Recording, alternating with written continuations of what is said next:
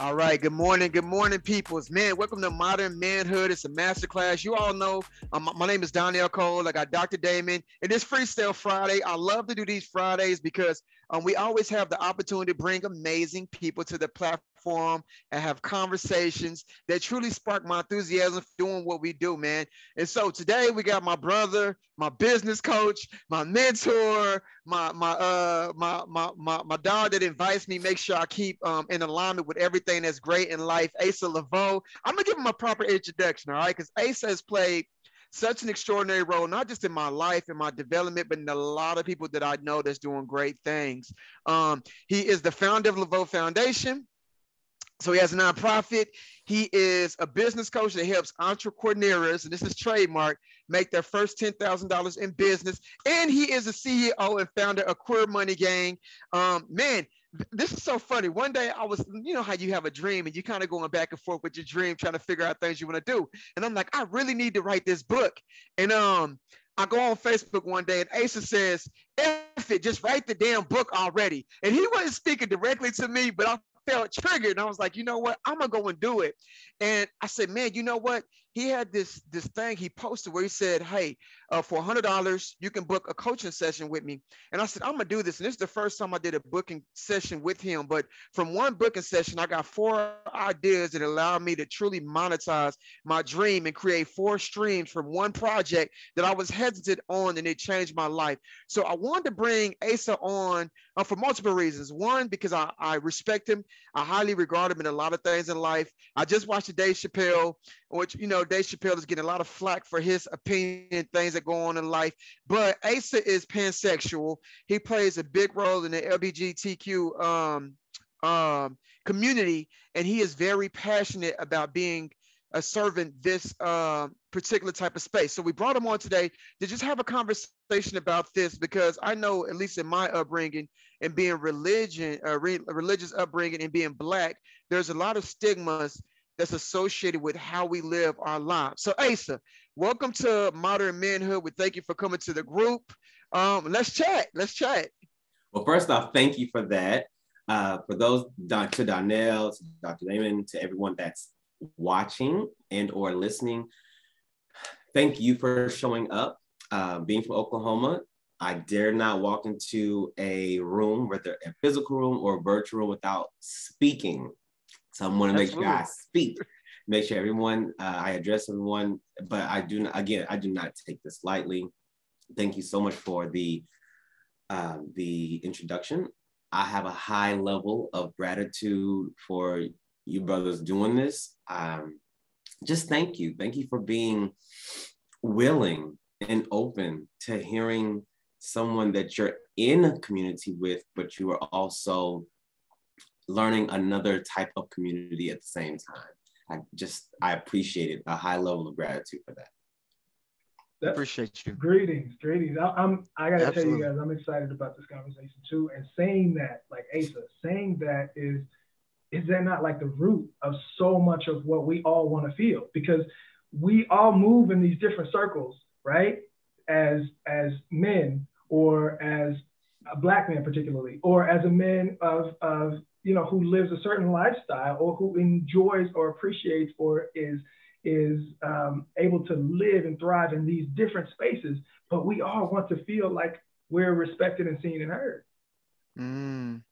I mean, if, if that's not the case, we're, we're, we're, we find ourselves in these situations where being othered is, is the experience. And, and that's nobody wants to, to, to feel and see what that looks like. So help us understand in some ways of, of your experience, your circles, your, you know, where, what you've seen, how we can bring a lot of that together. Because that the question that you posed to us that we shared, like, are all black men created equal? I mean, ooh. Tell us what that means. All right. Before I do that, I'm going to say this. This is important, not for you two to know, but for those who are tuning in to know. I'm not here to manufacture negativity. I am not here to manufacture discord among Black men. I am not here to manufacture discord around amongst Black people. However, I am here to tell the truth based on my experience and the experience awesome. of others that I cherish and hold in my heart space. Yeah, like That's it. what I'm here to do. With that being said, I pose the question Are all men created equal?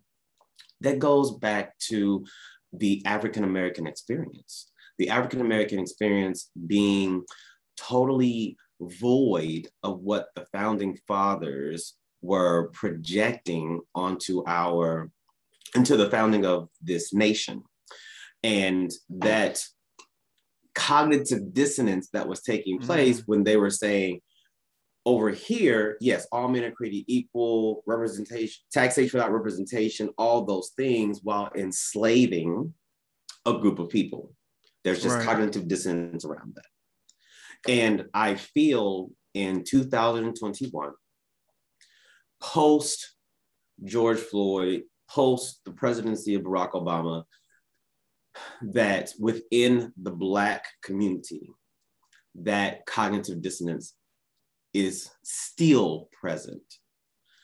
And I do not, at this point, I'm not quite sure what to do about it. Mm. I'm not quite sure what to feel about it.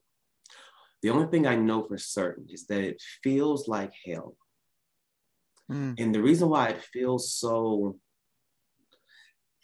utterly tragic is because when you when you look in the mirror or you see your brother reflected back at you, you would mm-hmm. think, you would consider that that other human would be there for you in a way that sometimes you're not able to be there for yourself. That's beautiful. And I would love for that to take place. And that's just not always the case. Um, now, I definitely have, have thankfully manufactured um, and nurtured relationships with um, quote unquote straight Black men in Oklahoma City, where I'm from, and all over the world that love me, that protect me, and protect me and love me when I'm not in the room. Mm. At the same time, I, I receive a level of violence and energetic violence that would make our ancestors weep. Right. Yeah, I had a conversation with Dr. Damon about this. I said, because of the way that we've been programmed to view our social construct, we have dehumanized people below even being human beings because of our lack of compassion, because our lack of understanding, and because our lack of understanding how we should be able to perceive others relational, but most important, because our lack of own self-worth. And I think that the founding fathers have been able to shape society in such a way that a lot of us don't have a cultural identity. It's different from growing up and seeing a Malcolm X or seeing a Barack Obama, like you mentioned, and having an idea, idea individual that we can idolize that brings more of a, a compassionate nature or energy to surface where we can look at other beings and see the beauty of them or see the God in them for that sake versus the way that we're taught to demean other individuals with self-condemnation and project a sense of discrimination and not even know it. So living out this way where you don't even recognize you're perceiving and having hatred for another being before you even have a conversation with them. And I and I appreciate what you said. And we still have people that yes, you are correct, that don't think about it. And so it's this sometimes in the Black community, among Black men amongst Black men, there's this not knowing for sure, just because of the way we've been conditioned, for sure. And then there's just an outright violence, mm. Outright Boosie level violent. Absolutely. Wow. Like, so I'm so I'm very clear. Yes, wow. I'm high in intention. Yes, I'm high um, on making sure that there is a level of understanding because you need to understand so that we can then be understood. I'm very Absolutely. aware of that. But then I'm also going to call a thing a thing. Absolutely. Just call a thing a thing. There's a Boosie level of violence um, that has been consistent for millennia. Uh, Absolutely. Break that down for us. Amongst, Break amongst queer people. So let so let me start from the beginning. Wow. Wow. Let me start from the beginning. We feel that queerness is void of Africanism. Mm. We feel based on what so when we talk about the our ancestors, Africans being enslaved. I don't, I never call us slaves. We were Africans right. who were enslaved. Yeah, absolutely. And we talk about different things that happened. And one of the things um, that we talk about within the slave narrative, yes, we talk about, you know, Mandingo fights. Um, that was, um, you saw that in the movie Django. Mm-hmm. So the brutality of it. And then there was also something called buck breaking, which um, I feel that was probably very much a tool of oppression for sure. And if anyone's just watching, you're not unsure what buck breaking is, that is sexually penetrating a, a, a male in a family publicly so that they can now be reduced to a passive role in the community. I'm Absolutely. very aware. So it's a public raping of a man. Totally mm-hmm. understand mm-hmm. what that means. At the same time, we consider that there was that Africanism, that to be African was void of anything queer identified prior to mm. the transatlantic slave trade. Mm. And so we feel that somehow queerness is synonymous with things that are European in nature. Hmm. So, so imagine where you have a white person telling black people, even though they brought us here, go back where you came from. And then my experience being a queer black individual, having black people say, take that back where it came from. Hmm. So if you have people telling you to go back to a place and then your identity telling that to go back to a place, where do you feel like you belong? Hmm. How was Let me ask you this. Yes. Okay, so I understand like there's people that don't understand the power of being able to walk in their authenticity. And mm-hmm. you come from an upbringing where your mom is she's a bishop, right? My mother is a pastor and mm-hmm. she is also the head chaplain of the largest hospital network in Oklahoma. Okay, so help me help me walk through going from what you're saying. We talk about slavery, we're migrating up to you giving yourself permission to say, "Hey, this does not fit who I am, and I need permission to be able to not just walk in this, but also serve a culture who may not understand the magnitude and power of what that means to be who you are in today's time." And you say because you got it, you got you got a queer money gang hoodie on, fam. I do. Well, branding is real but it's but it's bigger than that. It's bigger than that because I know people who say this is who I am, but they may not feel that I need to serve this community to help them prosper in this. So I think the role that you play is very different because you can be perceived as a spokesperson. You've done, you're doing, you know, like um the conferences, like you're doing very, very broad things that most people don't even think about. So you're not ashamed to spread awareness. And that means that you weren't always like this. No. That means, right. So you had to grow even more into that. So right. talk about that. Okay. So, yes, I grew up Church of God in Christ. Absolutely. No, like real COGIC. Like I went to Memphis every November and got checked out of school for a week to go to Memphis to go to Holy Convocation. Like I'm like COGIC, COGIC. Um, so I was void of queer people. The only queer person I've ever saw on TV was the episode of Hanging with Mr. Cooper where RuPaul made a guest appearance and played Mr. Cooper's cousin from Atlanta. Wow. That's the only queer person I ever saw, ever. So I didn't even know. It was like to propose being queer to me in the 80s in Oklahoma was to propose veganism to a West Texas farmer in 1932. like, wow. that is not happening. so I'm void of the possibility. And so my it's not that I was repressed over time, it's that the possibility had no place to allow itself to make itself aware at all. Mm. And so I followed the path. I was a good little church boy. If you meet people who knew me then, no, Asa was a church boy. Like that's what Asa was. I would, I would literally provide the center prayer to you at your locker. All the way in. like when I say I'm, I was COGIC, I was COGIC. So yeah. I dated women. I never had a I never had the experience of I'm in sixth grade looking at another little boy in sixth grade saying, "Oh my God, I want to hold his hand." Nope, never, never. Hmm. Nope. Um, I then, you know, eventually became married, had a baby, who I have a son, my S O N and my S U N, and got into the military and it wasn't based on trying to fulfill something. It's because i got a bill in 2001 right. at oklahoma state and i was like so i don't do debt like this $7000 i'm not gonna yeah. pay like i only have so much plasma to give. I, it's just so much plasma in my little body.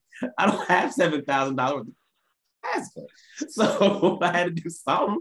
So i enlisted and then what happened I found myself being divorced, mm-hmm. having that experience, and then all the things that somehow I had blinders on about were released.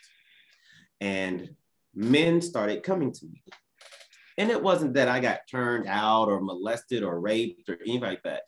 They were they were very respectful, like, yo, I think you're attractive. I was want to know if we could go out. I was like, I guess so. I just wasn't thinking that much of it. Yeah. I guess. And then things just incrementally progressed from there. And then I was like, okay, this can't happen.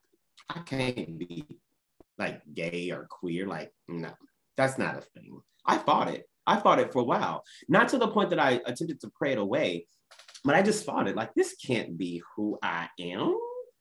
There's enough going right. on. Like, I'm dealing with a heartbreak from marrying my high school sweetheart. Like, I don't need this too.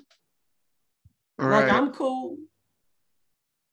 like, I don't want this.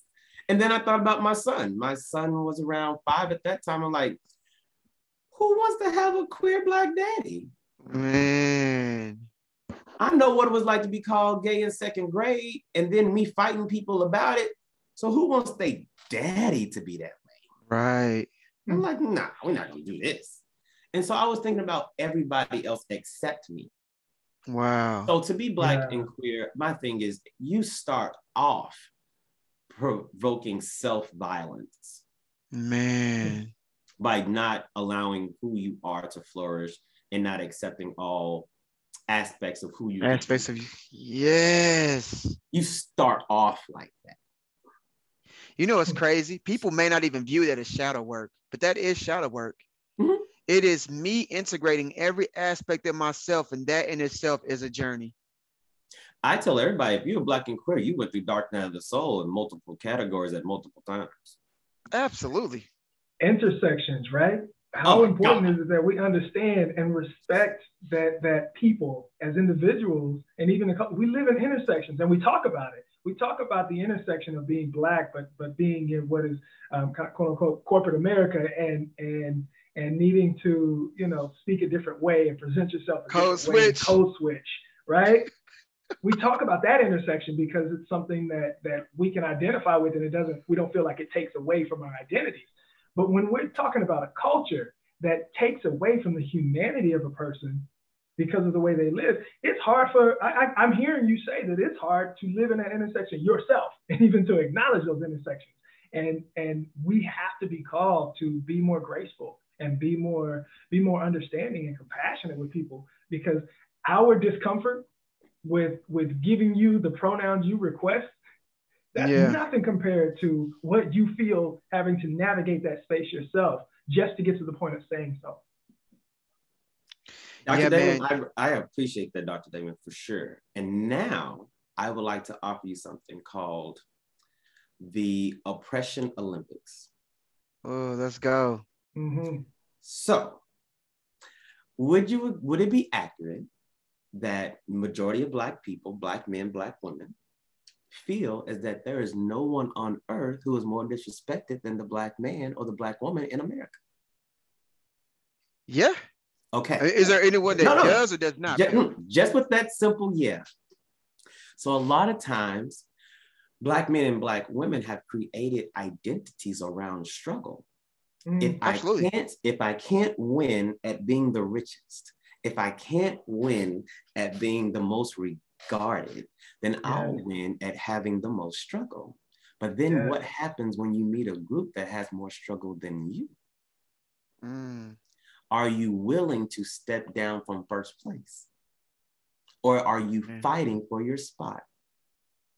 Right. In a way Absolutely. that makes complete avoidance and denial of someone else's experience. Mm. Because I've, I've had to take, I've had to do um, diversity and inclusion co- um, classes and trainings with educational institutions. And I start with Black women. Black women, you feel this way. Now imagine if someone else could be more oppressed or having an oppressive experience than you. Can you even imagine the possibility? Because you, oh, yeah. we, we all want, we all want to be loved, adored, right. seen, valued, accepted, heard, accepted, all of those things. Mm-hmm. We do. But are we willing to look to the left and right of us and find out who else needs that too? Right. Yeah. Because we, we talk about things like the March on Washington.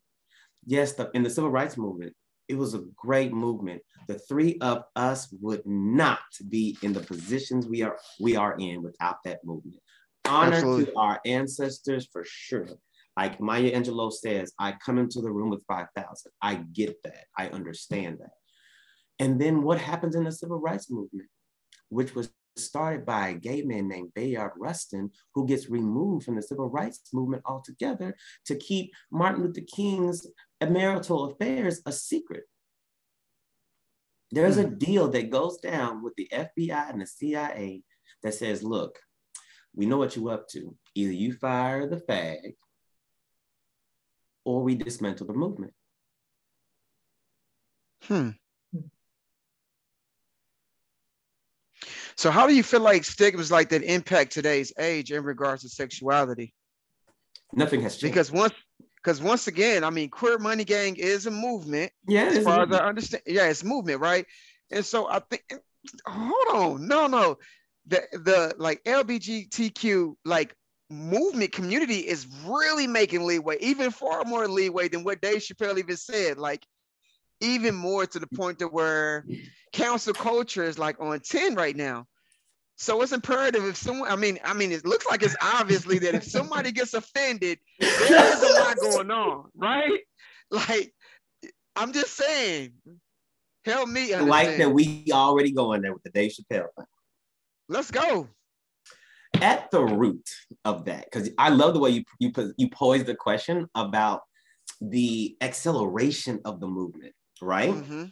But the acceleration of the of, of the movement is coated and saturated in privilege. Mm. As Dave Chappelle was doing his best to say to us, because guess what? It ain't black gay lives that are canceling DaBaby. It Absolutely. ain't black queer lives that are canceling Dave Chappelle. Why? Right. We don't have that much fucking power. Right. That makes sense. Makes yeah. total the, sense. People, the people that are being able to cancel him and remove DaBaby from concerts and contracts and all these things didn't come from us. It doesn't come from us. Right. Elton John got DaBaby right. canceled. Yeah, that's what I was. That's crazy. I was thinking it too. And RuPaul yeah. ain't said a goddamn thing about it. Right. Why? Because there is an understanding in Black queer world that our mamas, our daddies, our pastors, our frat brothers, our sorority sisters have said more things to hurt us than DaBaby or Boosie ever could. Wow. Wow. Yeah. And that's a truth that that a lot of us aren't willing to hold ourselves as the people who genuinely love you, care about you, but aren't willing to back away from our discomfort enough to see that and be empathetic towards that. Right. I think this thing, this thought kind of shifted for me. I was talking to Dr. Damon. So my daughter has a best friend that's transgender. Mm-hmm. Um, she's 16. And when she first came over and I started meeting her, I was referring to her as he. Mm-hmm. And it was difficult for me to break the pattern when I saw it. But she uh, one day, and, and her family comes for a great deal of wealth. And she says to my daughter one day, she says, you know, I could have anything I could ever want but she was like, if I could trade anything, I would rather have your dad than my dad. She said, mm-hmm. because you may not have all the money in the world, but your dad, he loves you. He, he was like, he accepts me as a daughter. Like I called her my daughter. And and it was very it was very touching that she came to me and she said you know what my, even my daughter said that she was like i never thought about it because i complain sometimes about not being able to get certain things that i want because i envy the things they have but when she came and said that to me, and eh, man, I just hugged her. I hugged her because in that moment, I was like, it's not even about your gender. It's about you being able to be accepted for who you are wholly.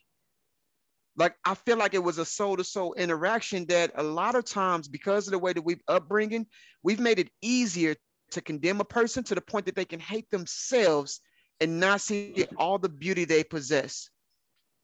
And to me, that was like one of the highest revelations ever because I was like, you know what? It, I know what it's like to be a black man, grow up without a father, mm-hmm. but I would never want you, I would never make you want to feel like you're not, don't have a position in this world and make you feel like you can wake up every day and not be comfortable in your own skin. Right. To me, that is the root cause of suffering and that is sad that even growing up in a, in a religious household, a spiritual household, that we can still be responsible for making the person that is truly beautiful feel like they're not worth anything. It's nuts. It's crazy. So I want to, I'm going to thank, first off, thank you for that. And thank you for hugging her. So Donnell, and I, in this moment, Please hear me with your entire body. You just saved someone from suicide. Absolutely. You, you, that little girl will grow up and have a thought at 3:18 a.m. about herself and then remember the hug that'll cancel out the thought. Absolutely. So I don't take that lightly. And I like the fact that you talked about parenting because when I when we posed we when we co-created this question, are black men created equal? From a very um, at a beginning level of this, we aren't created equal, and we find that out from our parents. Yeah. Yeah. Hmm. So I know, I know that I may ruffle feathers, but I've been ruffling feathers for a long damn time, for decades now. I really don't give a damn about all that. Um, but let me just be very clear. The we do have a high level of absenteeism with fatherhood in the black community. That's an mm-hmm. that's an accurate statement. Yes, we have millions of fathers that are there. I get that. I know the mm-hmm. statistics. I'm not saying you can have both. you can have right. You it's can. really high over here, and still, right. it's a lot of good black dads. It there are both. Man, like seriously. Yeah, can. Like that's called being bi. You can have both. Right.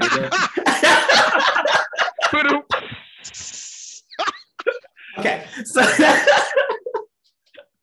so with that said, a lot of a lot of our self-inflicted pain, a lot of our feelings of being worthless. You know what a lot of that comes from? Our Black mothers. Yeah. And it seems to me that in the Black community, it seems like all Black mothers are all Claire Huxtables, and that shit just ain't true. Mm. All Black mothers are not Claire Huxtables. Right. There is a level of pain. Let's just talk about just without sexuality in it. Yeah. Yeah. Yeah. In the Black community, we have not even discussed how there are so many damaged and broken men that have been nursed at the bosom of emotionally retarded women. I agree. I agree. We have been nursed at women who have had high levels of trauma that have not had the resources nor tools to process that trauma, and they have fed that into their sons. Mm-hmm. Absolutely. That's a reality. We have not That's talked about that. So we talked about all men are created equal. We aren't even raised equal. A lot of us mm. are not even raised equal. If I mean, and I can say all these things because I've been able to reconcile my childhood with my mother. So I'm not I'm not spilling any tea. And that's beautiful. At all. That's to yeah. me, that's beautiful. But I say I say the spilling tea part because I was 20 before I got a hug from my mama. Mm-hmm. I would know. I was 20. God. Why and why did I get the hug? Because I was getting on the bus to go to Afghanistan in 2003. Wow. I can pinpoint the day I got my hug. Yeah. And so that shapes us. Yeah. Seriously. And let me say something else as far now, I'm going to add the sexuality back into it. A lot of our feelings of being worthless come from our mothers. Yeah. Because the pride of Black women are their Black sons a lot of times. They are raising the men that could not leave, they are raising right. the men that they wish stayed. And so, because of that, if your dream that you have been um, nurturing for 20 plus years becomes shattered mm-hmm. because of your expectation, which I feel is the root of all suffering. Yeah. How do you reconcile that? And I feel like that's also a conversation at some within all of us being able to go there. Um, because a, a lot of times, like Boosie, the only reason why Boosie or DaBaby or anybody. I'm not gonna throw Dave Chappelle because Dave Chappelle is fly. He fly. So that still killed it. It was amazing. Uh, no, he murked that shit. For real. So, like he uh By okay, far, so like yeah. I will literally, I don't do this often, but like he literally like he gets one of those. we're we're gonna come back to that. We got we got to talk about that, and and I want you to finish this thought because like I'm hanging on yeah, yeah. So how you bring this together. We got to talk about what that is, and that that this is your reaction to that when we're seeing such a um like the dichotomy of how people are on one end of the spectrum with Dave Chappelle mm-hmm. right now, and you literally living in that intersection. Is, right. I, I'm. I can't wait for you to help us understand so, what that what that is. But so, finish the uh, statement because you yes yes. So for right the now. for DaBaby and uh, everything else, it's because women allow that. So let me be very clear. Straight men don't do anything unless straight women allow it. Because mm. that hinders your progress in the bedroom. Okay. Or your, or your roadmap into the bedroom. So let me be like, let me just, if if whatever black women allow, black men get to do. Facts. Like it wasn't um Bill no Bill Cosby didn't really become canceled until black women started doing it. Mm. R. Kelly, even though we know that in our culture there's still oh, absolutely a pretty good divide about the numbers about his support. Yeah. Until black women really started like, wait a minute, I don't think that was right. That's when things started happening. Black women are that powerful. I acknowledge that mm. black women are that powerful. Whatever they allow gets done or not done. So that's that part. Now, as far as Dave Chappelle goes, in my black queer body, I well, first off, I, I, I black queer people around me were telling me, Asa, I'm not watching it. I, I I'm not gonna watch it. It's it's becoming too political. I mean, if it's that much, I already have enough trauma. Why do I want to go, mm-hmm. go get some trauma on top of the trauma I already got? Like, why would right. I do that? And I was like, well, you know, I do live in this world and I do want to be a active participant in the community. So I'm going to get my empathic heart, my empathic body, uh, set intention for it. And I'm like, all right, let's go. yeah. And so I sit there, not with a intention of canceling Dave Chappelle, but with um, an idea that, okay, just protect yourself. You've heard a lot of things in your life about yourself. Right. Um, and, and you don't know Dave Chappelle. Dave Chappelle doesn't know you. So regardless of that, you still got to pay rent. So at the end of the day, that's what that is. So I'm like, I'm watching it. And I'm like, okay, I understand that. Okay, understand that. Okay, yeah, that was true. Yeah, understood. Okay, yeah, I get that. By the end of it, I'm still waiting for the, but I'm still waiting for the thing that's not true. And the fact is, you can't tell me as a 38 year old queer Black man living in Oklahoma that there is um, a divide in the queer community from white queer people and Black queer people, or what I like to call Afro queer. Um, there is a, a differentiation.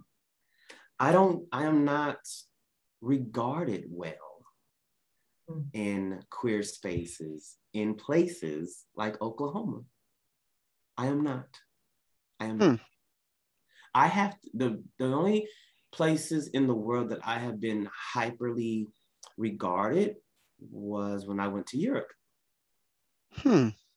Queer places in Europe adore me. You don't think people adore you here? Maybe that's just the onset of how I see it because but but Donnell, I, but Donnell, have you ever went to a gay club with me? No, I haven't. That's what I was about to say. So I, I, you're regarded as a business, as a businessman. And let me tell you, Dr. Damon. So I was I was completely surprised and I was like, damn, Asa is like the perfect mix of business and ratchet. Yeah. He was he would tell you how to make a million dollars while playing Knuck If You Buck fam. Like, and it was like it was thrilling to me. I was like, wow. And then I sat with Ace. I'm like, oh, he's in the military. He has a son that he adores. Um, he has passion to truly see people evolve beyond the nature of the things that hold them back. I was like, Asa is beautiful, right? I was actually defending Asa with one of my homeboys because he said, Hey, I heard you say Asa was beautiful, and he laughed and chuckled. I was like, Yeah, I think he is. Just keeping it a buck. Because there's not a lot of people that you that you see like that. You know what I'm saying? Most people have a hidden motive, or most people would project their own insecurities, but I didn't see that with Asa. But I also got to keep in mind that my frame of reference is totally different because there are another other spaces that Asa is in that he's going into that a lot of people, you know, of our culture don't go into. So I appreciate you, know, you sharing you, you it. Spoke, Donnell, you spoke specifically to, to two things that you and I talk about all the time, and that is one, values, right? You you have looked at a person in Asa and saw common values, saw common places where where you could relate to, you know, to that pride in in fatherhood, in that that business acumen and that that passion that Asa has in these different spaces and allowed yourself to see that beyond what a lot of people do. And let's face it, a lot of black men don't allow themselves to see those values in other people because they're they're already mm. apprehensive and pushing away from an intersection that they're not even a part of and oh, miss out on that true. opportunity. Like Good intersections, point. that second thing that intersections of life, business, fatherhood, just general manhood and really a passion for life. Those are all different intersections that you and Asa share. And I'm going to tell you right now, I share it as well. And that's why we can sit here and have this conversation. But as long as we sure. keep deciding as, as people and as, as men and then as black men to say, none of that matters because you stand in this space, in this intersection of, of what sexuality means for you, then all of a sudden we disregard the rest of that. Like Thank yeah. you for saying that because that's the space we need to be in and, and to continue to uplift and to continue to open the playing field for people to, to, to live together. Absolutely. So I got a question for Asa. So my daughter goes to school, right? And the teacher says, How would you like to be um, called? Would you rather be male or female or non binary? So my daughter says, I was going to put female and she said, "But I seen students in the class that were putting non-binary, non-binary. I didn't want to be offensive to them, so I put non-binary." She came home and told me about. it. I was like, "Why? You do your hair, you do your makeup, clearly this." And she said, "Well, I didn't want to put that because I didn't want to be subjective to how expectations perceive me." So my wife. I was like, well, it don't make sense because it seems like a lot of pressure. Like when I was a kid, you just had two boxes, cool, you're done. It's easy. But she says it's not that easy because if I check this, then I got to be this way on society says. I'm like, but who cares? Right. And, and, and Liz, you know, my wife, she's like, well, babe, that means if I check this box, I can't be a mechanic. I love to fix cars, right? And I'm like, but still, that's what you love to do. Who cares? Go do what you want. But she's like, society says that's not okay. So I'm like, dang, is expectations really that big? Then it dawned on me. I was like, is this non-binary thing like the next evolutionary stage of consciousness where we truly rid labels of it? Or is non-binary just another label that has expectations associated with it? Or does society truly have that much influence over our lives to dictate how we should live based on a gender specification or classification? Help me understand this binary and non-binary thing, if you could. Mm-hmm. I can. Thank you for being open to just the conversation. Listen, I'm, I'm trying to get everything I can out of you while I got you. All right. right. Even from my daughter, because I'm like, baby, help me, help me. All right. And the short answer is it's all of them. It's everything you said. It's all of it. So, but it's all of it depending on your mental fortitude it's all of it based on your personal experience. So, where one person is saying, you know what, I'm going to choose being non binary because, as Indya Moore, in, Indya Moore, who would played on the show Pose, her quote that I heard them say was binaries cause violence. Mm. So when you think about the reason why people have gone to wars, um, yeah. the violence uh, associated with our individual experiences growing up and about the expectation of your binary. And when you do something against your binary, how violent things become for you. So that's what they meant when they said binaries create violence. Mm. So there is truth to that. At the other side of that, there are people who want to be so woke that they aren't willing to go ahead and do a great intense self-evaluation and they just do the thing that other people are doing whether it be liberal or not. There are followers on every side of the human experience and sometimes that is the case. And then sometimes as far as myself so the reason why my pron- my pronouns are he him they, them, and God. Hmm. Those are my pronouns. He, him, I identify with being male. I like the male experience. I do. I really, really do. I like it. um, however, I reframe manhood and masculinity daily. Exhibit A. Okay.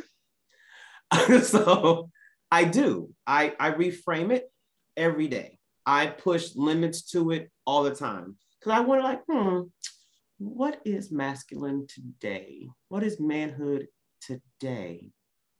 And then I do something because I'm not because uh, I define that. You don't get to define that for me.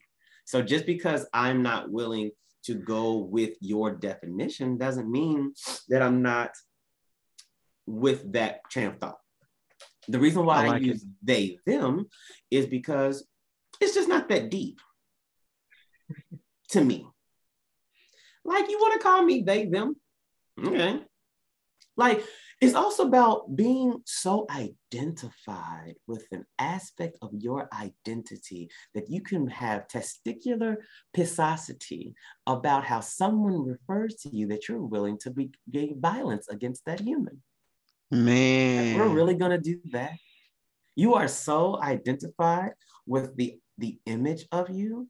Yeah. That's why that's how where I went through Dark Night of the Soul to shatter the self-image and recreate another one.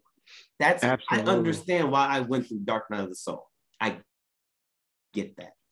So I'm just not that identified with someone else's expectation of what I should be or who I should be. Um, and the reason why I choose the pronoun God, because I am. Absolutely. We are all that. And it's not in a way of how Kanye West gets mis uh, communicated. I feel like the way when Kanye says it, it's taken out of context. But I feel like the way that I say it, the way Donnell says, Dr. Damon, I'm not sure how you say it, but I feel like it's the same way as Kanye says it. We understand that we are we have God complexes, but Absolutely. Not, but not in a way that says I am and you're not. Right. No, I'm telling you that my pronouns are God so that you can finally see the God in you. Mm-hmm. Absolutely. So this Power. is I'm desiring this to be an affirmative reflection for you. I like it. Because if I am, oh yeah, you definitely are. Like you yeah. so are. Like um, when I I've said often, and I'm sure other people have also said this. What is a prayer? A prayer is nothing more than a little part of God making a request of the big part of God. That's it. That's all a prayer is. And understanding your divinity, understanding that you really are divine. We yeah. are living, because what is the divine? What is God? What is source? It is an energy that creates. And if all three of us and all the masses that are watching us now and in the future look around us right now in this moment, from the chapstick to the fan to the phone to the water bottle to all these things, once I am literally living inside of people's worlds, all this shit didn't exist once upon a time. Absolutely. Literally, it didn't exist. But somebody's like, you know what? I'm going to play God and I'm going to create a world. And we are living in these combined worlds of all the gods that have ever lived and are living now. Mm-hmm. And creating ourselves. is. Yep, and, and still being co-creators. Right? Absolutely. Exactly. So that's what we are. Creativity is the highest level of prayer. It's the highest level of worship. It's the yeah. highest level of identification to you being divine. This and that's why I don't believe in the term being realistic because once upon a time, all this shit wasn't real. Right. Yeah. But like, just create it. Like, make it up. So, what about smart goals? you said, what about smart goals? yeah. You know, the R smart goals is realistic. You're a business realistic, coach. Man. we just so go I, smart goals. Just I'm a business goals. coach that does. I saw there are things as a business coach that I just do not align myself with. smart goals are yeah. one of them. Also, yeah. waking up to the ass crack of dawn just because Jeff Bezos does it. I don't care. that, that's not my ministry. That's not my ministry. Five o'clock in the morning is not my ministry. My ministry is waking up around 9 30, 10, but going until 2, 3 a.m. Yeah. Because yeah. around 11, I get real nice. like I get real nice around 11. Like it, starts, it, it just comes together, right? Like it's just, I'm, I, I got you. I got you. I'm the same way where, where if that's when like the creative starts to really just blossom. And I'm like, let me write this down right now. This needs to, let me get on this flyer. This needs to look like this. That's exactly, and, and finding those spaces where like, that's human. That's human. And if we don't give God bless y'all. explore that, man, you gotta you because I am a but I am a 4 a.m. But Dr. Right. Damon and Donnell, the fact that Donnell, you are a, a early riser, and doctor mm-hmm. Damon, you are somebody that is able to create at you know ass crack of night. and and being able to not judge each other or make each other wrong when Absolutely. you understand who you be and how you're showing up in the world that's your most true for yourself. So yeah. can you imagine a whole group of people making you feel wrong just because you work at a better time of day? Like how absurd is that? Yeah. Yeah. And that's what it's like to be black and queer. Yeah. Like you want to hate me for that? Yeah it's egotistical is what it is and it's a, a poor form of human interaction and living living. It really is. So yeah. thank you for clearing it up. Mm-hmm. that's why i asked my daughter. I said i think you might be onto something baby. You might be onto something because it seems like the next level of evolved and some people may disagree but i feel like it is basically something that allows you to be the most authentic being and your most authentic self and your most authentic expression. May I offer three things? Yes. And I will and I will be mindful of time as I do this. Number one, because you brought up a, a trans person. Mm-hmm. For those of you that are watching, because I don't feel like I have to tell this to Dr. Damon or Donnell. Um, I feel like I need to say this for the consumption of our time together. Um, if you are really like, hey, I just don't understand the whole trans thing. Just in a nutshell, if you identify as a man or woman, can you just imagine? We're gonna play make believe right now, people. We're gonna okay. play make believe. So can you just imagine like you have a whole Freaky Friday situation and you wake up the other gender, and not only do you wake up the other gender, you never wake up going back. Mm. No, literally, you never wake up going back. Like you just, you're just in that gender now. Like you waited because if you identify as a man, like, no, nah, I like being a dude, and you wake up with breast, bruh, and a vulva, and o- ovaries, and a cycle.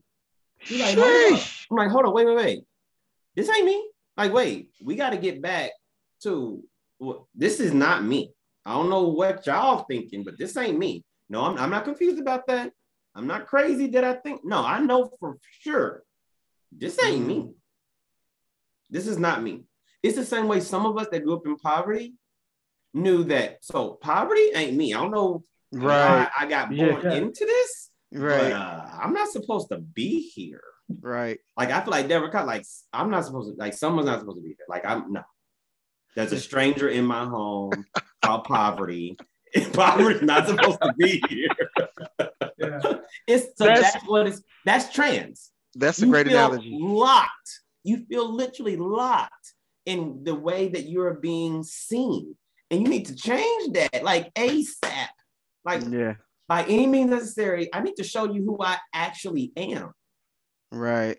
So mm-hmm. that's trend. Okay. Powerful. Number two, um, when we talk about, I like to talk about the stream of consciousness and non-binary possibly being a way of our societal evolution. A lot of times in the transformational or even motivational aspects of our, uh, when you go to a seminar and talking to a speaker, a lot of times you may find yourself going through an exercise and they will ask you this question who were you before you were born? Mm-hmm. So, if we talk about that, who we were before we were born, we weren't assigned a particular chromosome yet. Right, pure consciousness. You are pure, unadulterated consciousness. Mm-hmm. And your pure, unadulterated consciousness did not have a penis. Right. Sex and gender is two different things. People got to understand masculine and feminine energy is not subjected, is only subjected. Your physical form is the physical representation of energy carnated in the body. Before that, you're just energy, the same primal energy that makes up all of existence. Sorry, Asa, go ahead, keep going. No, no, you're not. Thank you, because that's what I feel. Um, and so I say that to say that's why another reason I use the whole they them now um, mm. as another hmm. opportunity because it reminds me that I don't have to be arrested to yes. your expectations. Hmm. I just don't. I don't have to be arrested to that. And then the third thing, I'm dating someone now. Let's go. We're not exclusive. So okay, that's why you haven't seen any pictures on social media yeah. yet. But I'm working on it. I'm you be mad booed up, fam. You be happy. I mean, it's cuffing season, so. And lunch dates and Donnell. Donnell has met them um, at the comedy show recently, but hold on, I hold on. them like them like the person you met, the person I introduced you to. Oh, okay. Hey, he's fly. Them as in person. Right. Fly. Yeah. I mean, I was thinking, I was like, okay, Ace, I see you. You. know what I'm saying? and I, was, I will talk about that too. So I say that to say they are non-binary. Oh, legit. So they do not do the he, him, she, her, even though if you looked at them, you're like, oh, that's a dude who's very feminine. Right. But they're like, no, you don't get to put me in any box. I'm them to you. And so I literally have not not rudely, but very softly and gently corrected people when they say like they'll they'll they'll look at them and then they'll look at me like, oh my God, he's so cute. And I say like, oh no, it's them. And then like, what? I'm like, oh, they go by them. That's all. I try to make it very, you know, it's whatever. At the yeah. same time, I sometimes mess up yeah. in front of them. And I don't always say the things that support them, but I'm, I'm very quick about changing yeah. it because they understand it really is about intention. But then they did something to me. They said something to me two weeks ago and they said, I just want to let you know, I really see you trying. And just so you know, when I first started call, referring to myself as Dave them, I messed up for two months. Yeah. I said, wait, wait, you misgendered yourself for two months after you made the conscious decision? And they're like, yeah. I said, no one ever says that. No one ever talks about how you can misgender yourself and you have to give yourself grace because it just mm. feels like it's so violent when someone does it by accident. Right. So yeah. you need to talk about that. And that's why I brought that up. But then on top of that, what it's like to go to a black straight space in a same sex possibility. That was the first time I've done that in in ever. I've never wow. I've never put my arm. I've right. never I've never dared to show compassion to the person that makes me smile in a room of black straight people. Hmm. That was my act of civil disobedience Monday night. Interesting.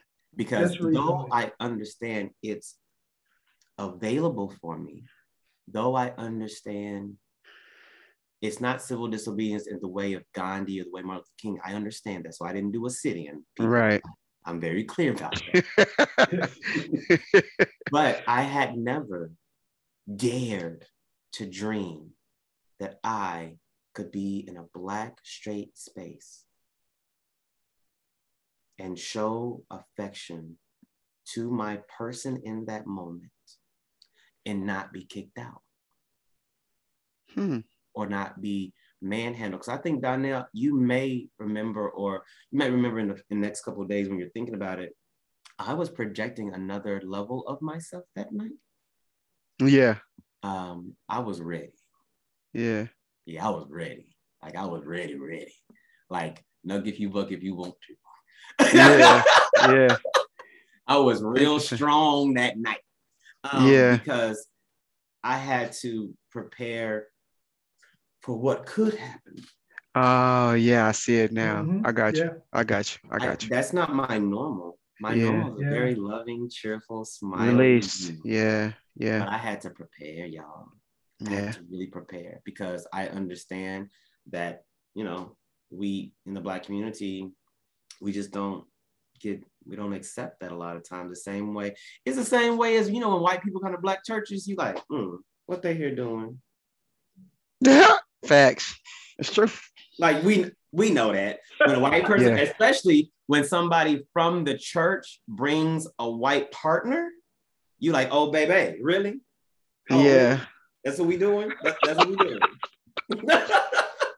it's the same thing. It's the exact same. That's dope. I appreciate you sharing that. This was like crazy, um, enlightening. I want to I want to tap on one more thing that I think um, is is we really need to speak on. And this is something that um, that is an intersection for us as Black fathers, right?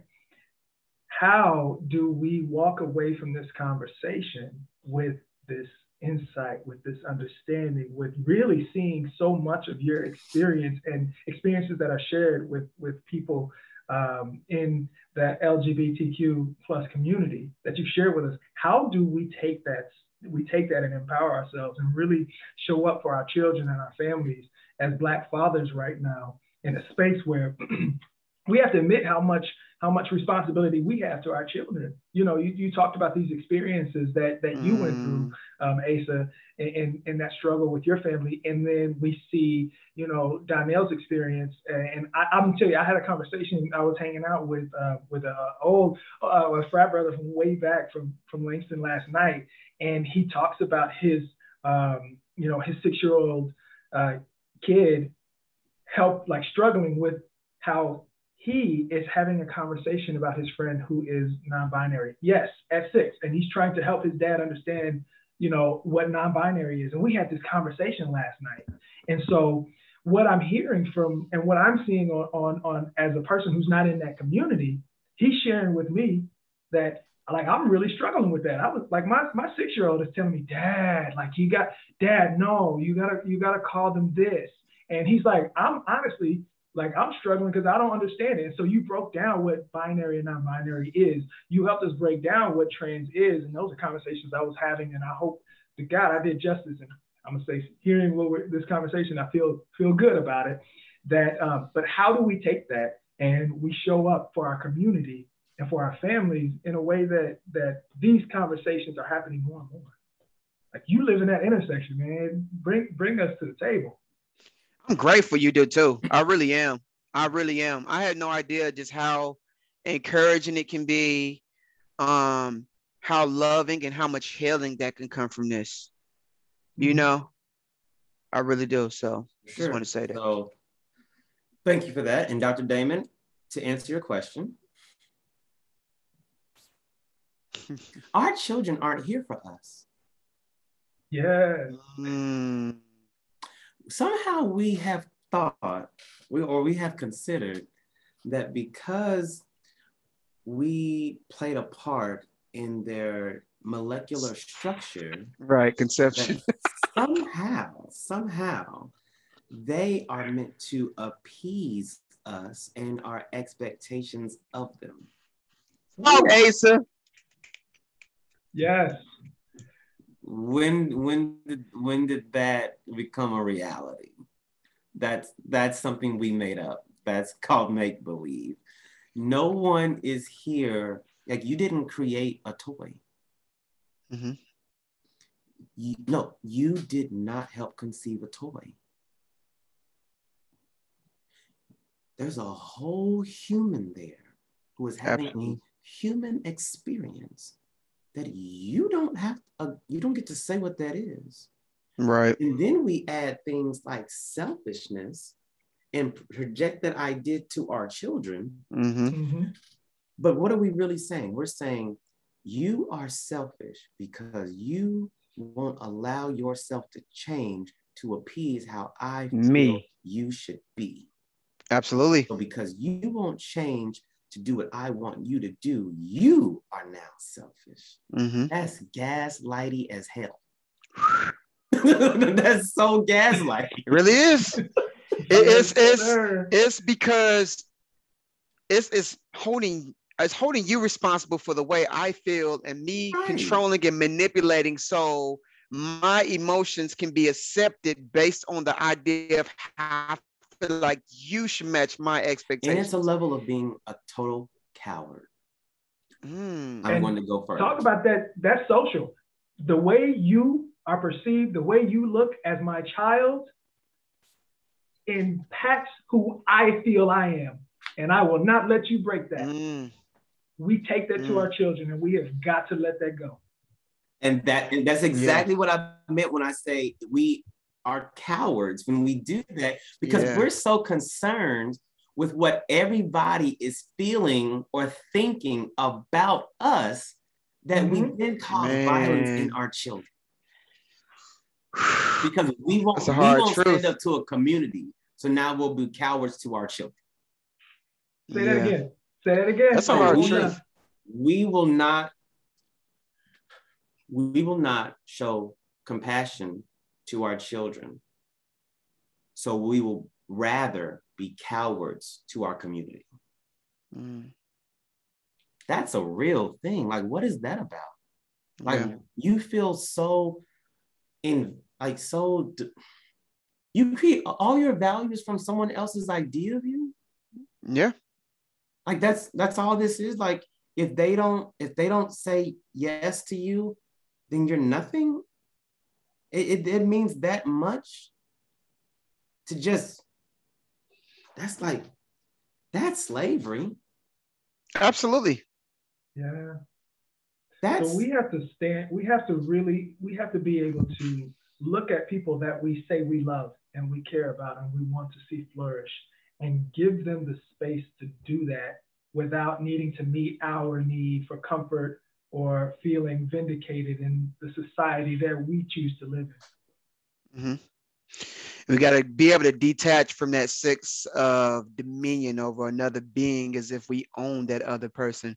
I had this conversation with my baby one day. She says, You're so hard on me because you don't want me to fall for some of the mistakes you made when you don't realize I don't have a desire to make the mistakes you made. And I said, Baby, you know what? You're absolutely right. Because I grew up like this, I expect so much more on you but I said, I would not expect it of you if I did not see it in myself. So I said, don't confuse the two. You may be right, but I, I can't do your journey.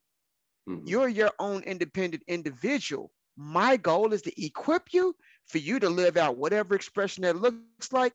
But she was absolutely right. We do that. We expect more for our kids and we don't recognize our expectations can be a hindrance in their development and whatever that looks like. So listen, uh, and Donnell, there's a question. Um, there's a question, Asa, that I want you to to to help us answer. And um, so he's watching watching us live, and he's asking. So as a new father, what should I do with my expectations for my daughter? Expectations is the root of all suffering. I'm gonna say that again. Expectations are the root of all suffering the moment you put an expectation on a person, meaning mm-hmm. you have an idea that you will now like to project on that human, and when they go against what you expected of them, now you feel hurt. But they never bought into your expectation. That wasn't right. clear communication. There was no communication at all. There was no clarity given. You made that shit up. Right. So the first thing is to get clarity around what the other person desires. Mm-hmm. And guess what? The moment they're born, they are a person. So it doesn't matter if you're not paying a light bill. It doesn't matter that you haven't moved out the house. You're still a human. Because if you don't allow them to share the human experiences until they're out the house or until they're paying their own bills, you will then lose them for the right. remainder of their lives because now they have no point of reference for a relationship with you Man. that looks um, that looks reciprocal or understanding. So that's yes. the first thing. Your expectation of that little person, really, right now, what's that based on? Right. Because if they're they're going to hurt you day in and day out based on your expectation of them. Yes. So please. Yes, that goes for everybody. it does. We gotta leave room for people to be human. Yeah. Have grace, have mercy, and start looking at it like it's a journey. Your journey is gonna be different from my journey, but that don't mean I could treat you differently. That means that even though you may be younger, there's always things I can grab from you. We are in each other's life and we chose each other for the development of our soul's evolution. What does that look mm-hmm. like? That stems beyond an expectation because expectation is a box that society defined for you. So now we live our whole lives with somebody else's ideas when that person don't get to live out our life. So why should we live as somebody else? And why should I do that? Why should my kid live like somebody else? And it's not just right? your kid, it's also your wife, your girlfriend, yeah. your boyfriend, your co-worker, your boss. Because we give expectations to every relationship. My uncle, I had this conversation in my family. So please understand these these words I'm saying aren't just for Zoom, aren't just for Facebook Lives, aren't just for YouTube. I have these conversations in real life. And so we're in a family setting. And I'd say to my uncle, I don't expect, we're talking about um, being more family oriented. And so my large family is present. And I say, well, I don't expect anything from you. And they're like, he like, nephew, that's bullshit, nephew. Like, how you gonna say that? You supposed to expect from me. I'm your uncle. I said, no, no, no, no. This is what's true. You are my mother's brother. That's the only thing that's accurate about this relationship. Mm. Everything that comes after that is based on a soul tie that we are willing to nurture and develop. And that comes mm-hmm. with understanding your capacity. Do you have the capacity to come to my book signings? Do you have the capacity to help me with rent when I'm low? Do you have the capacity for me to cry on your shoulder when I go through a breakup? Do you have the capacity to answer the phone when I call because I just want to talk, because I want to be around family in an energetic way. I have to be very specific about your capacity rather than my expectation of what this particular mm. blood tie. So I don't want to confuse the blood tie and the soul tie. Mm-hmm. Because mm-hmm. the blood tie says uncle, the soul tie says stranger. Wow. So I don't want to confuse the two. That's powerful. I think that speaks to to kind of the philosophy that I share when it comes to expectations. Expectations are are they're so damaging and they're mm-hmm. one-sided, and that's not to you know to denigrate anybody who who has expectations. What I share and what I say um, is, here is my ask. I don't have an expectation of you, person in my life, but here's my ask because mm-hmm. I want to I want to give you the opportunity to show up for me in a way that that shows me that you see me and you hear me. So I'm not mm-hmm. expecting you to show up for me in a way that I always get a phone call on Fridays or else that means you don't no, I'm asking you to check in on me when you think about me. Right. And I can and if and if you aren't checking in with me and that means you're not thinking about me, you're not then that's that's a you thing and that's okay because I can live with that instead of living with the the weight of of an expectation that we never meet. We never meet. Mm. So I, I this is my answer to that question. What do I do with my expectations? Learn to present what your ask is to people in your life and give them the space to either meet that or, or figure don't. out if, what relationship it is between you that needs to be that allows you all to share life the way you want to. Because in the end, if you ask somebody for a burger and they ain't got no burgers, do you carry a, a hatred towards that person? No. But if you expect them to have a burger and they absolutely now you're in trouble. And and I I so Dr. Damon, thank you for that. And I have I've had to do that. I've had to do an ask recently so again, going back to relationships, the person that I'm dating non-exclusively at the moment, um, just in case they see it. um, the thing about it is just because I'm spending time with you doesn't mean I have permission to pursue you. So I literally asked them one day, do I have permission to pursue you? Because sometimes we feel that just because they're single, it means they're available. Mm, that's good. And we also do the same thing with every other relationship in our in experience. We, yeah. you know, we just we don't ask, we don't say what we need. Um, and I've had to say that to my mother. I'm yeah. like, so here's the thing. Um, you right now you're expecting that I'm supposed to respect you. Okay. Now we're talking about black mamas, right? Okay. So I'm supposed to respect you. So the way I can respect you while protecting my energy, my ask is that we not speak for a week. Wow. Powerful.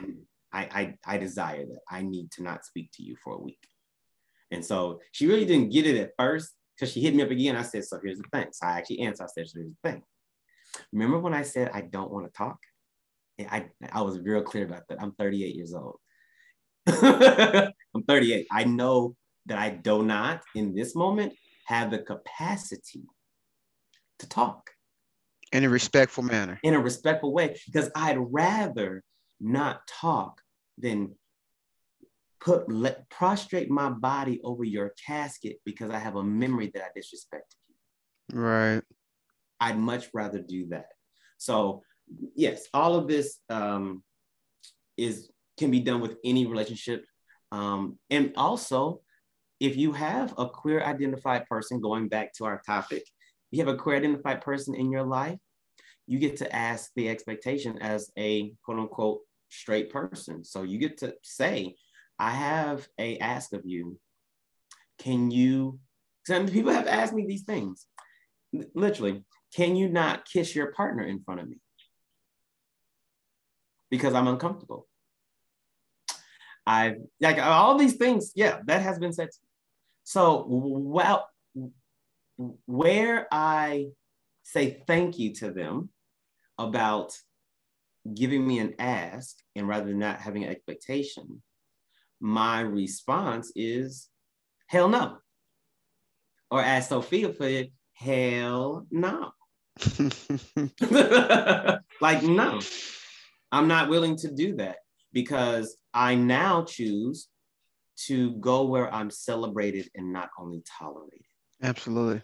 Because as Black people, I think that we forget that um, we have an entire experience from our white siblings in this country that hasn't been 100% positive and we sometimes do what they have done to us to each other so yeah. the same way that white people have have had a history of saying things like mm, you're colored in 2021 people are still saying oh that colored guy. Yeah. And then we get pissed off about it but then when you refer to the community that i'm involved in and you say things like you know them alphabet people them elemental p people. Yeah. Like yeah. we pretty much told you what we want to be called it's in papers and magazines and yep. YouTube videos and Facebook Live, but you won't allow me to be called what I want to be called, but you want to be called what you yeah. want to be called. It's mm-hmm. it's like you you're only thinking about the level of respect that you deserve, but no one else's. Yeah. That's yeah. just not fair. We need more empathy. Definitely. A lot more empathy. I, that's the right more empathy. That'll wrap up everything we've said. I'm about to I say, yeah. This with a with a um, with a uh, a comment, and and we have another brother who's who's watching us live, and he he expressed very specifically that he doesn't think expectations are bad and that they're necessary, and and his you know the way he shared that is that if you buy a car, you expect it to work in a certain way, and um, I gotta I hearing that as the example, that's kind of exactly what we're saying is having expectations on people who are fluid, who who who are who have control over their lives and who change and grow and shift and have different needs. Having an expectation of them is not the same as having an expectation of a car that was built a certain way to do a certain thing. And, and so I actually I, I don't know. I would be I, I, would even be conscious of that because there's a difference between okay. the expectation and the desire. So now when okay. my car breaks down, it shouldn't break down, but it's a machine. It's gonna break down. you should not have an expectation. You should be mindful of things that you attach yourself to. Why? Because there's a limitation in that. You don't want to place any limitations. Now, do we have a desire for things to work out the way that they do? Yes. It's just like if I'm in a marriage and I'm like, well, because I'm married, I expect my wife to give it up anytime I desire it. No.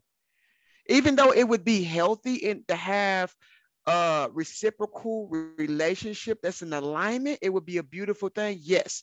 But if it doesn't work out that way, does it take away from me? That's the answer.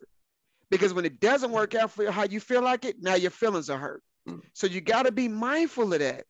You can't attach too much of who you are. And that's the reason why we got so much war in our world. There are people that literally say, because of this belief, I feel like it's a righteous indignation. I have the pride to go out and attack and destroy and enforce and control. Bro, mm. that's the reason why we got so many problems. But if you allow nature to just operate in the way that it's supposed to and go with the flow, you will find it so much more ease what happened in your life and less suffering. Just show up in the beingness. We're missing the beingness. That is the problem. So that's that's my rant. I'm done. Listen, I'm so just saying. I, I, I, bought, I bought a, who who hasn't bought a new car today? Break down. You like I expected it right. then you go get mad at the mechanic, and the mechanic's like, "Bro, I'm just doing my job." Then he's like, "Oh, there was a there was a recall." So now we blame the manufacturer. The manufacturer just had to produce more cars because of the way the economy was. So now we blame the economy. You'll find yourself blaming everybody, bro. That's when you relinquish your authority because you have become a victim to your expectations. That's not freedom. Like you can have you can have a different opinion though. That's just the way I believe. It's There's not a diff- it's not a different opinion. It's a compounding. So why are you so angry that the car broke down? Cause my that's so that's a question. That's a great and question. My, and my response to that is I, I first learned this from Erykah Badu. I know I could have read this in a book, but I didn't. we all come, we all operate from two energies an energy of love or an energy of fear. Mm. And a lot of mm. times when we are having an expectation, i.e., a car breaking down, we have a fear of being seen as though we're not enough. Mm. And so when our mm. car breaks down, at you know at our workplace and we have an ego attached to us at our workplace. And now somehow our image is shattered in our minds because we have a fear yeah. of not being enough. Because remember being eight years old and being called little boy you ain't shit. When you were eight standing in line to get your graham crackers. And now you 52 still having this this this un um, unexamined possibility of feeling worthy. And so now everything is attached to you being in fear about not looking and seeing being worthy. So it's compounded. And so yes, we we could be having an expectation conversation, or are we having a self-worth conversation and a self There we go.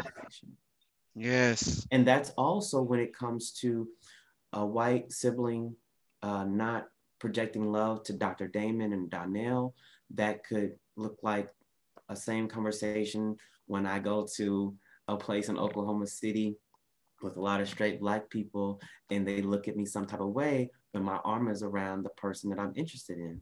It's right. about what is being projected in a fear way mm. um, onto someone else. So my thing is, as you operate in this day, and every day thereafter, you get to ask yourself, am I operating in fear or am I operating in love? And so when I got, when I'm getting angry about my child um, having non binary friends, maybe it's because I don't want to be seen as being gay. Because I remember how this one little boy was called gay and they beat him up in the bathroom and yeah. he had to be hospitalized as an elementary student. And I remember being like that. And I remember I had to protect myself. So to protect myself, I had to do gay bashing. Right. So that my fear wouldn't be manifested. And so that's now become a habit. And a habit is nothing but a belief, and a belief is just an idea you keep thinking. Yep. We gotta explore that. Thank you for that. You you this this conversation I think has so many different layers and levels of explore, exploring the human experience, the spiritual experience, and then the human mm-hmm. experience, and then the the racial experience, mm-hmm. and the and the the experience in based in the construct of sexuality and all of that. And so, thank you for this. This has been awesome, and I'm gonna tell you one space we didn't get to that we obviously need to do another another uh, conversation about is the business experience because your work in not just queer business but in business mm-hmm. and and and helping people to visualize and bring their dreams to life. Like we need to talk about that bro. I, am yeah yeah. I'm down. and soon. So so that's a whole that's a conversation that that um as as grateful as I am for for this meeting today, we need to get to that space, and so we we got to make that happen real soon. I'm um, totally with it. Good God, this is awesome. That's great. So look, we're gonna wrap this up. All right.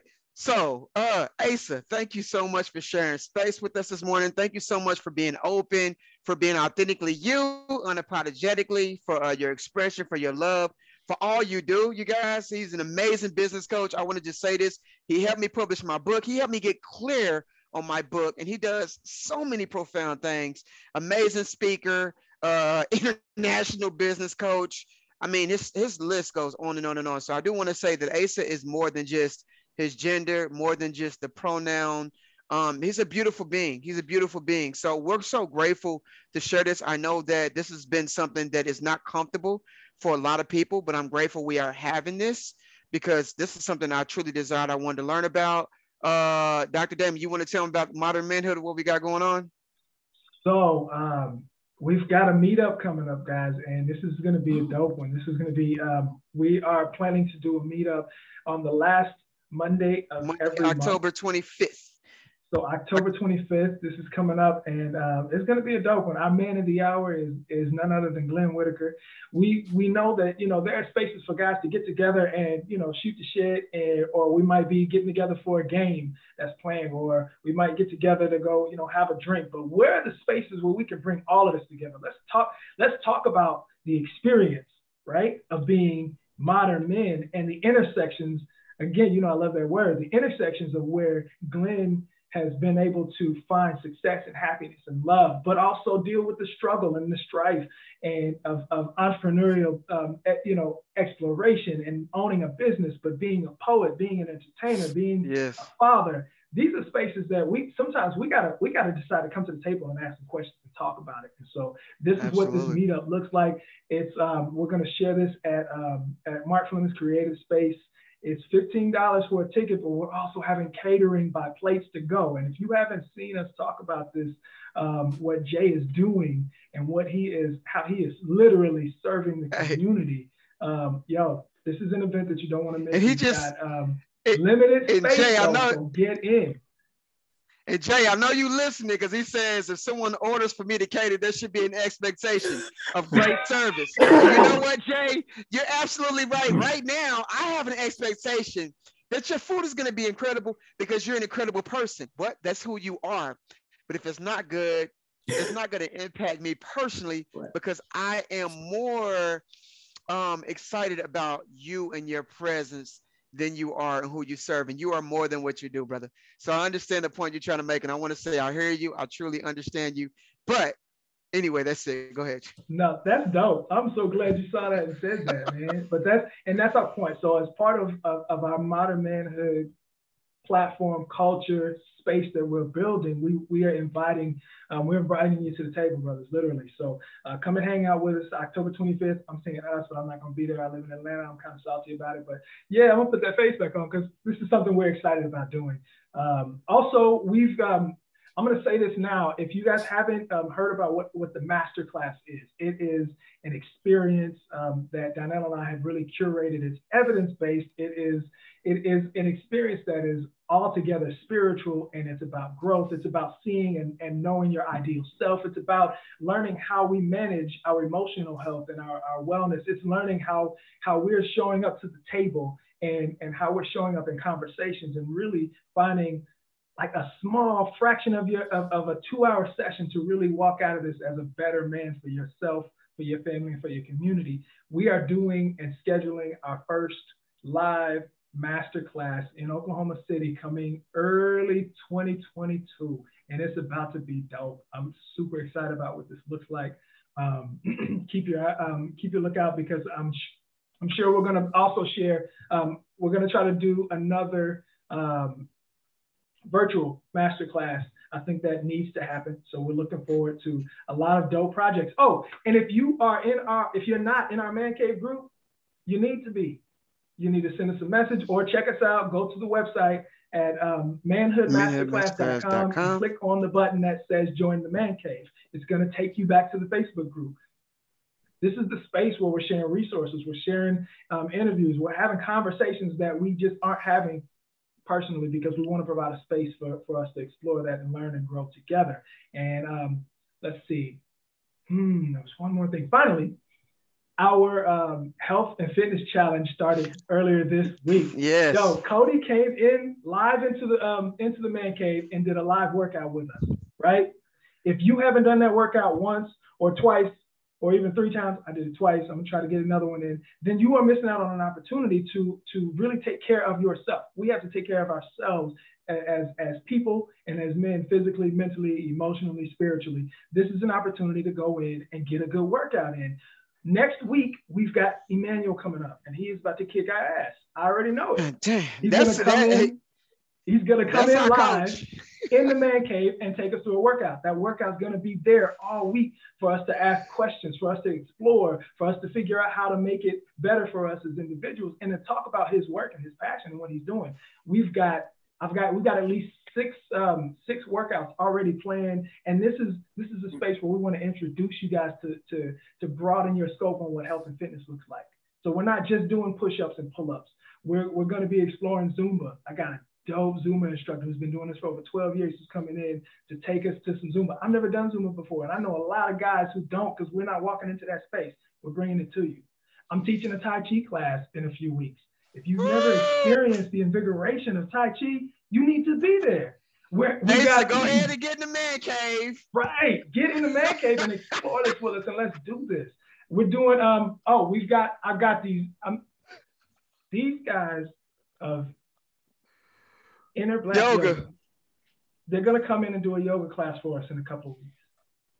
How are we Y'all like doing those? Wakanda black people. Yeah, man. Listen. So, so so we we're gonna have a boxing workout come up in a few weeks. This is a space where we want to bring the world to us and explore it in a place where we might be more comfortable. And we want you all to to, to really see that health and wellness is bigger than doing push-ups and taking protein shakes. And those are dope things to do, but that's bigger than what we, what it should look like, especially for black men. yeah. So let's explore what it looks like jumping on this health and fitness uh, challenge. We're trying to give away some prizes, but we can't do that if y'all ain't doing nothing. Right, absolutely. Say it. I'm excited. So, hey, got a one- lot of One thing. I do want to thank everybody that tuned in. Jay, Kellen, I know you was posting. There's uh Charlisa, Charlisa. I don't want to ruin your name, so please forgive me ahead of time. Um, is it Alicia? Yeah. Alicia, you know, okay, Alicia, thank you for tapping in. I appreciate you all just taking out your time to, to listen. Absolutely. It looks like this this gave a lot of value. So thank you all for making space and also contributing to this because we couldn't do this without you. Absolutely. This is That's it, I'm dope. done. I just think y'all dope. Like y'all real dope. Thanks. Appreciate that. Appreciate Thank you. that. This So share this, like, share, share it, you guys. I think this is a conversation everyone should hear about and know about. So share it, all right, and like it, and make sure you join the group if you're looking for an amazing um group that you can be safe in. You can discuss things that's on your heart because I believe iron sharpens iron, and I get, I, I'm passionate. We're all passionate about helping each other win, helping us all win, whatever whatever capacity it looks like. All right. absolutely. So I'm about to jump off. I love Yeah, y'all. man. Asa, go have an amazing day. Continue conquering the world because I know you're gonna do it. If there's anything we can do, just let us know. Anything we can do for you, let us know. Same all for right? y'all. I'm about to go get love my you sea moss right now. Yeah, Absolutely. I'm about to go get my sea moss. I'm about to go it. drop off some to orders and get a haircut.